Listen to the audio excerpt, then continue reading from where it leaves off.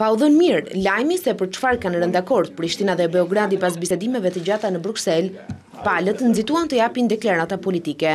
Shefja e delegacionit të Kosovës, Edita Tahiri, e quajti këtë si një hap të parë drejt njohjes së pavarësisë nga ana e Serbisë, ndërsa shefi i delegacionit serb Stefanoviq tha se është mbrojtur sovraniteti i Serbisë mbi Kosovën dhe Metohinë. Ndërkohë ndërmjetësi i Bashkimit Europian Cooper ka theksuar se këto marrëveshje s'kanë të bëjnë fare me statusin dhe qëndrimet e palëve rreth statusit.